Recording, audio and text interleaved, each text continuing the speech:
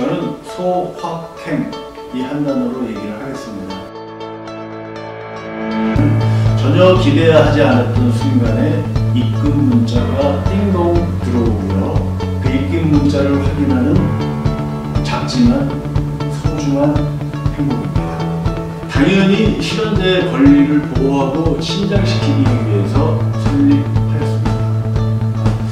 우리나라 저작권법은 1994년 7월 1일 개정 이전에는 실현자들을 법으로 보호할 수 있는 장치가 없었습니다. 개정 이후에 그게 가능해졌고요. 5년의 유예 기간을 거쳐서 99년 7월 1일부터 이 시효가 시작되었습니다.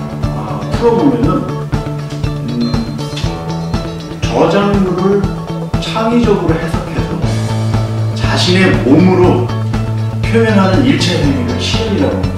근데 현재 우리 협회에 가입되어 있는 시연자는 9,300여 명입니다.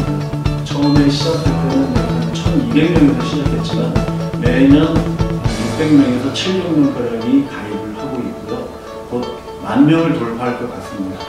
네, 방송 출연을 하면서 우리 협회에 가입되어 있지 않은 분들은 실질적으로 보호받기가 굉장히 어렵습니다. 어, 왜 그러냐 하면은 우리나라 저작권법의 실현자의 권리를 명시한 아, 그 조항이 제 100조 3항인데 100조 3항에는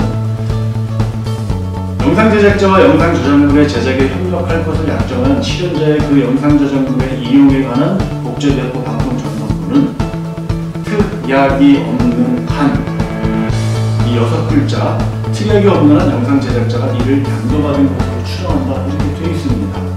그런데 이 특약을 어떻게 해라 즉 이행을 해라 이행을 안 할 경우에는 어떻게 제재를 하겠다라는 후속 규정이 법령이 없습니다.